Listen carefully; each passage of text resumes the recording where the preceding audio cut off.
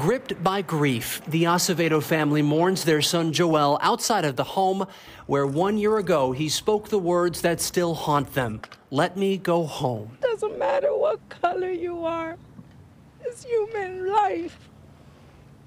My son deserved to go home that day. It was April 19th, 2020, when investigators say former Milwaukee police officer Michael Mattioli held Acevedo in a chokehold after a fight.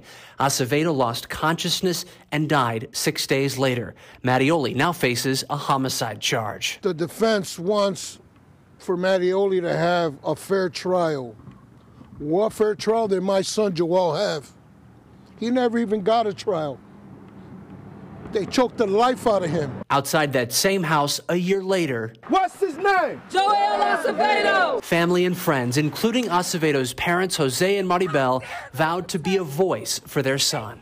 As God is my witness, if you all here is my witness, today is the anniversary of my son's murder, and I would not stay quiet. I'm not going to step down, and I'm going to keep fighting until every single person that was in this house, known and unknown, are going to be held accountable. Mattioli has pleaded not guilty. A judge says the earliest the trial would start is July.